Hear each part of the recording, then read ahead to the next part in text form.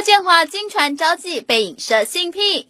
感谢所有支持我的影迷朋友。我的帅哥，话别说的太早，你的影迷可能要失望了。他经传桃色危机卷入招妓。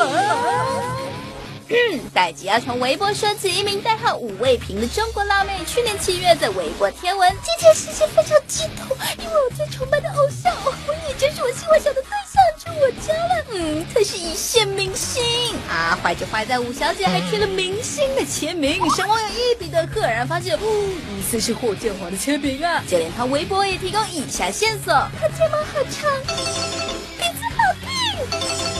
这五小姐是上海某日式 club 的酒店公主，平常就会贴自己上班时的辣照，男客人的自拍照也不避讳贴上。呵呵，霍建华自然被网友往浪 K 的方向联想，还被网友哭诉主演中国版麻雀变凤凰。苹果根据吴卫平微博供词重建现场。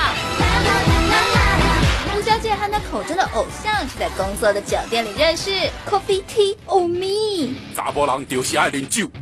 偶像喝到不省的时候，被吴小姐打包回家。接着一路睡到凌晨四点才醒来，跟五小姐翻云覆雨。事后五小姐跟自己的朋友炫耀，又跟对方爱爱。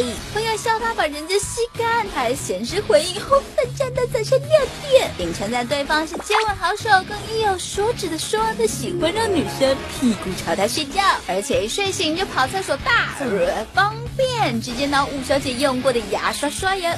就太哥哎！有中国媒体指吴卫平今天凌晨在微博澄清，我希望小对。对象很多的，睫毛长的男性又不止他一个。当网友批他拿霍建华炒作自己知名度时，还要回答：我想有感觉也不能算交际吧，我又没有拿人家的钱。